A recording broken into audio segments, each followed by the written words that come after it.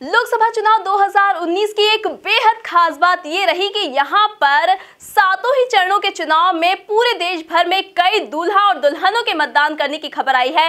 किसी ने अपनी बारात ले जाने के पहले मतदान केंद्र पहुंचकर मतदान किया तो कई दुल्हनों ने शादी तो हो गई, लेकिन विदाई से पहले मतदान केंद्र पहुंचकर मतदान किया है। इस तरह की खबरें बार बार सातों ही चरणों में देश भर से लगातार आती रही हैं। वहीं आज अंतिम और सातवें चरण का चुनाव है तो वहीं देवास शाहजहांपुर ज़िले की आस्टा विधानसभा के गाँव हकीमाबाद से भी इसी तरह की खबर आई है, जहाँ पर हकीमाबाद गाँव का दूल्हा श्याम परमार ने अपनी बारात ले जाने से पहले मतदान केंद्र पहुंचकर मतदान किया और उसने अच्छी सरकार के लिए मतदान करना ज़रूरी बताया। इस तरह का संदेश भी श्याम परमार ने दिया है। उसने कहा है कि बारात ले जाने से पहले मैं मतदान केंद्र पहुँचा हूँ और मतदान किया है। इसके बाद ही अपनी बारात लेकर जाऊँगा। उसने ये भी कहा है कि दुल्हन से ज़्यादा ज़रूरी देश है, इसलिए दुल्हन के पहले मतदान।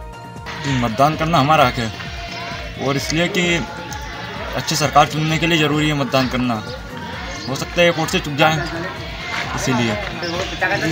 वो तो मुद्दा कुछ भी हो, पर वोट देना तो ज़रूरी होता है अपना।